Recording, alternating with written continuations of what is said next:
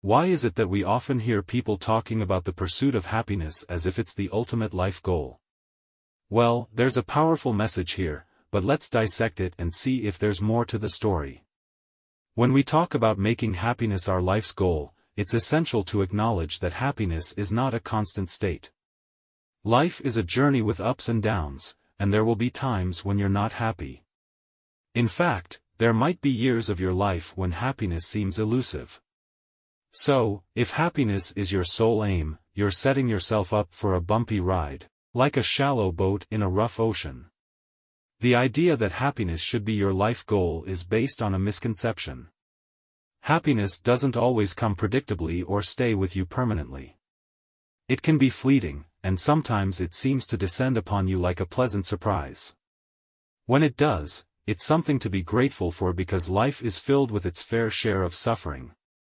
But what if we shift our focus? Instead of making happiness the ultimate aim, what if we strive to become the best version of ourselves? That's the first thing you should be pursuing.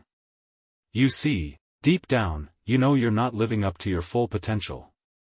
We all have our share of guilt, shame, and regrets about our lack of discipline, procrastination, and other bad habits. You're aware that you can be more than you currently are, and it's time to embark on the journey of self-improvement.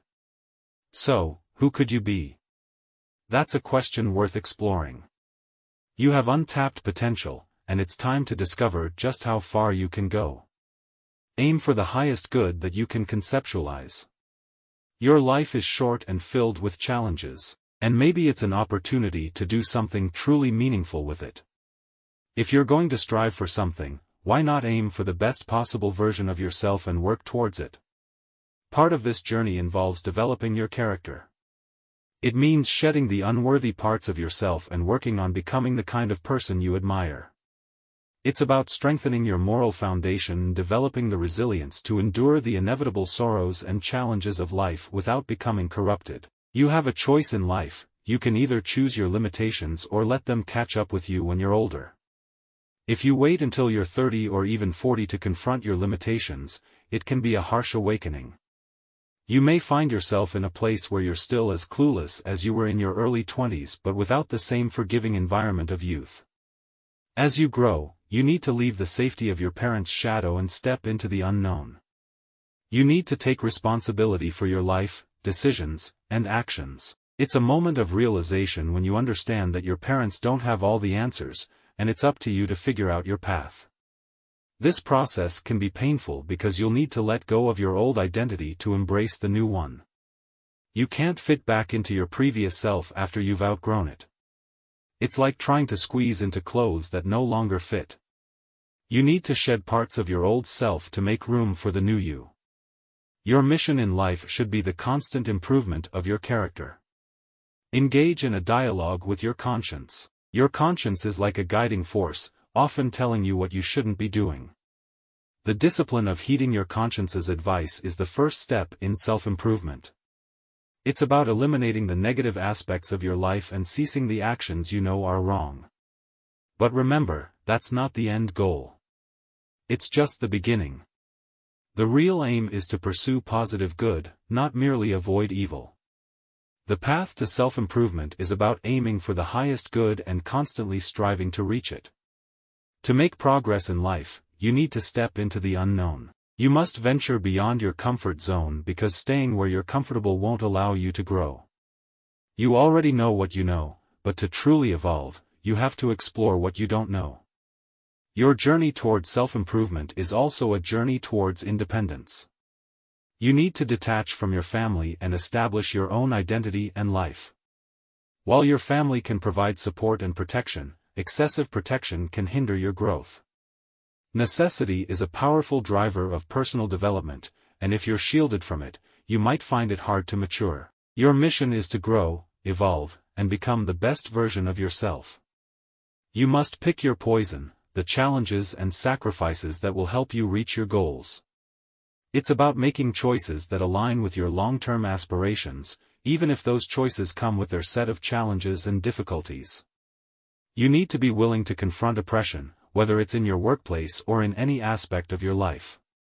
It's about standing up for what you believe in and not allowing others to control or manipulate you.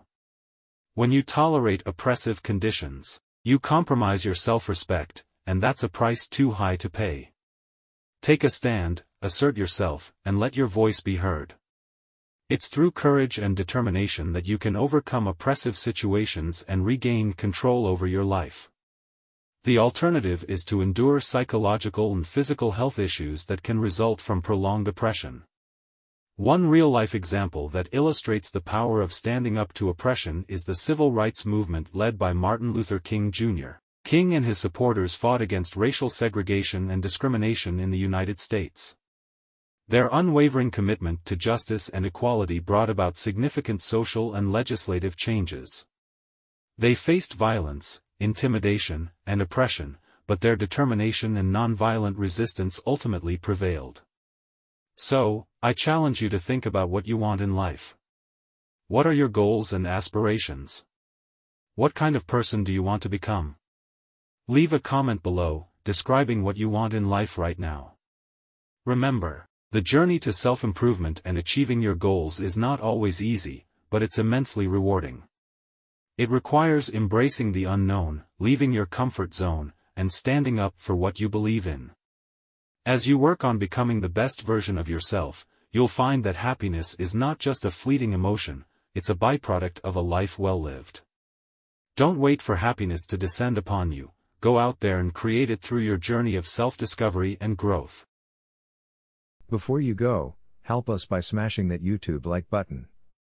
And subscribe to this channel so you won't miss any of our videos.